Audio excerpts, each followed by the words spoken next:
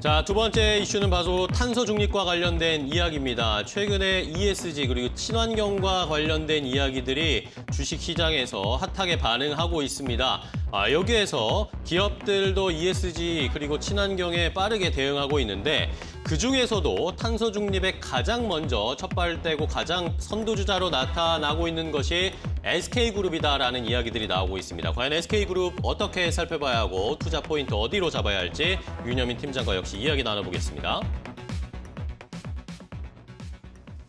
자, 탄소 중립과 관련된 이야기 계속 시장에 이슈가 되고 있습니다. 역시 뭐 기업들, 이제 대기업들도 여기에 발맞춰서 나가려고 해야 하고 이제 앞으로 거스를 수 없는 대세가 됐는데요.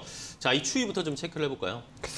일단은 지금 탄소 중립과 관련돼서는 좀 세계적인 트렌드라고 볼 수 있을 것 같습니다. 네. 지금 문재인 대통령도 지금 그 2021 경제 경향 포럼에서 지금 말씀을 하셨죠. 지금 뭐 ESG 관련된 부분들, 탄소 중립 관련된 부분들은 계속해서 좀 실행해 나가야 된다라고 좀 얘기가 나오고 있고요. 특히 네. 이제 최태원 SK 그룹 회장이 이제 최근에 이제 2030 뭐 SK 머티리얼즈를 좀 시작으로 해서 모든 계열사에 이제 온실가스 배출 net zero를 좀 달성하겠다라고 좀 얘기를 했습니다. 네. 따라서 글로벌 목표 시기가 지금 2050년인데 이거보다 좀 앞당겨서 좀 어떻게 보면 어, 이 제로를 넷 제로를 좀 달성하겠다라는 구상을 내놓고 있다고 말씀드릴 수 있을 것 같은데 결국 이제 그룹 차원에서 이렇게 좀 달성 시기를 앞당겨서 발표한 건 SK 그룹이 처음이다라고 좀 말씀드릴 수 있을 것 같습니다. 특히 최근에 이제 ESG라고 해서 이제 환경이라든지 뭐 사회, 지배 구조와 관련된 부분들에서 상당히 좀 많은 이슈가 있었고요. 또 이제 어, 어떻게 보면 환경 관련된 부분에서 또 탄소 제로 같은 이런 좀 이슈들이 있다 보니까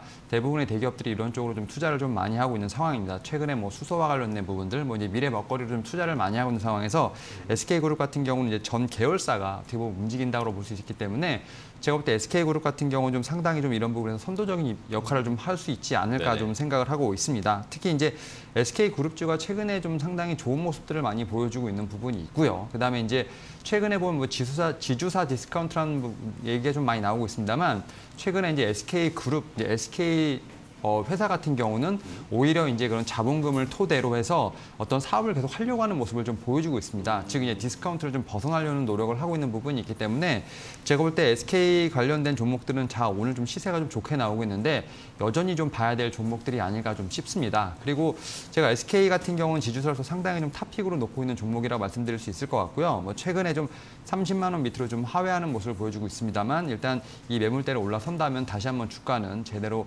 반등이 나오지 않을까 좀 제대로 생각을 해보고 있고요.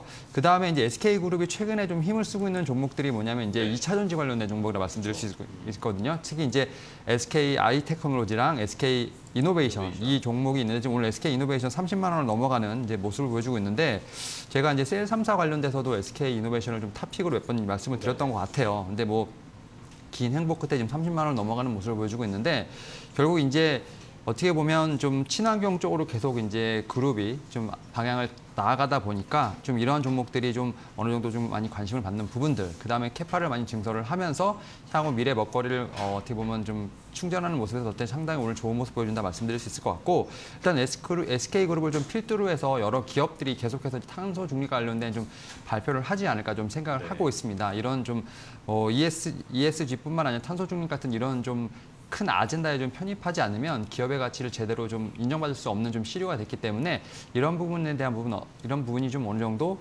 추후에는 좀 기업 성장의 모멘텀이 되지 않을까 좀 생각하고 있습니다.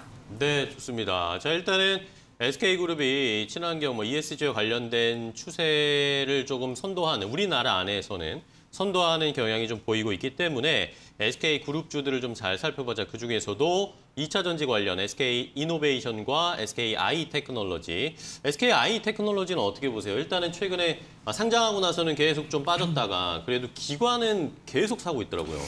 제가 이것도 그때 처음에 말씀드렸던 것 같은데 네네. 지금 그 5월 5월 11일 날 상장한 이후에 지금 기관과 연기금이 딱 하루 빼고 지금 계속, 계속 매수를 하고 있거든요. 네. 그러니까 사실 이렇게 매수를 길게 한다는 건 그러니까 단기 trading 관점이 아닙니다. 결국 이제 크게 좀 이익 실현을 하겠다는 어떤 그런 입장이라 보여지고 있고요. 사실은 그때 말씀드렸던 게 16만 원 이탈되는지 한번 보자고 말씀드렸는데 한번 이탈을 했었습니다. 하지만 네. 결국은 이제 한 지난주부터 좀 16만 원을 올라왔고 이제는 계속해서 상승한 모습을 좀 보여주고 있기 때문에 제가 그 당시에 처음 말씀드렸을 때 한 20만 원 정도까지는 반등이 있을 것이다라고 좀 말씀을 드렸고 이에 따라서 아마 그 밑에서 뭐 추매하신 분들도 계실 거고 좀 현재 상황에서 좀 대기하시는 분들도 있으실 것 같은데 네. 일단 저는 충분히 좀 어, upside가 있다고 생각하기 때문에 현재 상황에서 좀 더 보시면 좋지 않을까 말씀을 드려보도록 하겠습니다. 네, 자 이렇게 SK 아이 테크놀로지까지 확인을 좀 해봤는데 어, 추가적으로 하나만 좀 질문을 드리면 오늘 가지고 오신 종목이 종목이나 이슈가 뭐 네이버 카카오도 그랬고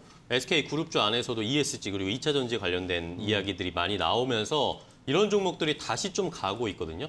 얼마 전까지만은 뭐 지난주, 지지난주까지만 해도 계속 가치주 뭐 이런 경기 민감주들에 계속 주목이 바- 주목을 하고 있다가 이번 주부터 약간 분위 시장 분위기가 바뀌는 것 같은데 어떻게 보세요? 이게 뭐 코로나 변이 바이러스 이런 것도 영향이 있다고 보시나요? 아 저는 뭐 성장주 가치주 논란보다는 네. 그러니까 좀 저퍼 그다음에 이제 실적이 좋은 종목들이 간다라고 좀 생각을 하고 있습니다. 결국 이제 뭐 네이버 카카오 같은 경우도 사실은 이제 앞전에서 좀 시세가 못 나왔던 한 2, 3개월 동안 횡보를 하다가 지금 시세가 나오고 있다고 말씀드릴 수 있을 것 같고 지금 뭐 삼성전자라든지 뭐 SK 이노베이션 그다음에 SK 그룹 같은 경우도 어떻게 보면 좀 계속 2, 3개월 횡보를 하다가 지금 올라가는 모습을 좀 보여주고 있거든요. 그러니까 결국은 빠른 순환매 속에서 이제 실적이 좋은 종목들은 언젠간 올라간다. 결국 그 타이밍의 문제라고 말씀드릴 수 있을 것 같고 제가 볼 때 뭐 하반기까지 이제 좀 올 연말을 만약에 되돌아보는 시간이 있다면 네. 결국 가치주, 성장주 모두 다 올라와 있을 것이다. 결국 다만 이제 순서의 문제고 이제 타이밍의 문제이기 때문에 이제 많이 올라갔으면 좀 쉬는 거고 그 다음에 못, 못 올라갔던 종목은 다시 한번 좀 value가 싸졌으니까 다시 또 올라가고 이런 식의 어떤 순환매가 빠르게 돌러, 돌아갈 수 있는 거지만 결국 연말 되면 좀 주가의 level up은 다 돼 있을 것이다라고 말씀드려볼 수 있을 것 같습니다. 네, 좋습니다. 일단은 뭐 돌아가면서 지금 상승 차례를 기다리면서 상승을 기다리고 있는데